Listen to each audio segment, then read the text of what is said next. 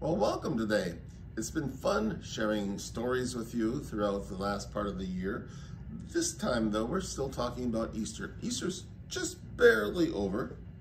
And uh, I'm going to finish story from our Easter story book, and quite literally, it's called that. And in this book, there are several stories about Jesus. And those stories kind of come to the end here now of the Easter season. So if you can see this picture, here's a picture of Jesus and the disciples are in the room and it's simply called Seeing is Believing. And this story is taken from John's Gospel.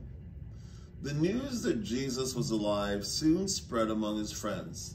The disciples were still in Jerusalem, but they were too frightened to move for fear of what might happen to them.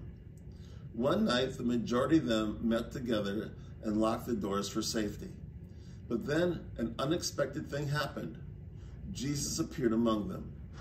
The disciples were overjoyed. They were thrilled to see Jesus again. Everyone got their fear out because they were excited to see Jesus. Everyone, that is, except Thomas.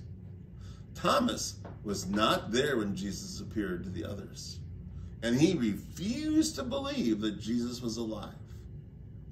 I'll only believe when Jesus is alive if I can actually see him for myself, he said stoutly. I won't believe until I can put my own finger into the holes where the nails had been and put my hand in the side.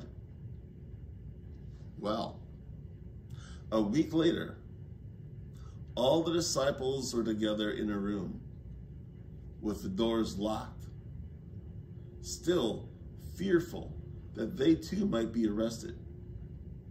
From nowhere, Jesus appeared to them. Peace be with you, Jesus said. And he turned and looked at Thomas. Thomas, he said, look at my hands.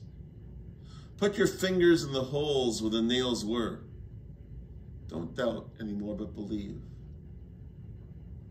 Thomas fell to his knees overwhelmed by what he'd seen. You are my Lord and my God, he said. I do believe. And that is our story, a very short one, but it ends then, or partially ends at least this book. It was simply called Seeing is Believing.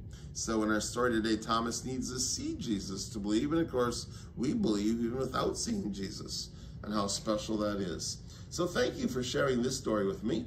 We have one more story in this book that I will share with you uh, at another date and time. Um, but it's from the book called The Easter Story. And of course, that will be leaving the Easter season. So thank you for joining me. See you later. Bye.